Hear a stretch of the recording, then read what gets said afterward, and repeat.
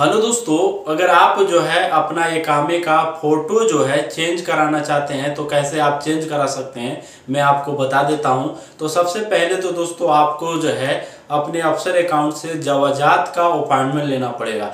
जब आपको जवाजात का अपॉइंटमेंट मिल जाएगा तो उसी डेट को आपको जाना है जवाजात के ऑफ़िस में और अपने साथ जो है कोई भी सऊदी ले लीजिएगा, नहीं तो आपको जो है जवाजात के अंदर एंट्री नहीं होगा।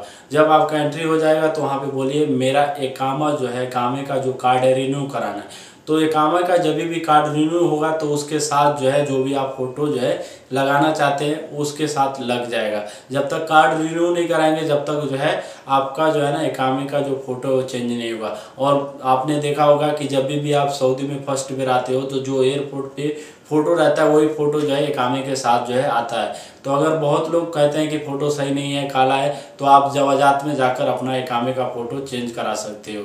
तो आई होप कि आपको समझ आ गया होगा कि कैसे एकामे का फ़ोटो जो है चेंज कर सकते हैं। दोस्तों, बहुत लोग पूछते हैं कि क्या ऑनलाइन जो है चेंज हो सकता है कि नहीं हो सकता है तो ऑनलाइन आप चेंज नहीं कर सकते हो। इसके लिए आपको जवाजात में जाना है। तो चलिए दोस्तों, एम करते वीडियो को समाप्त। जय हिंद, वंदे मातरम।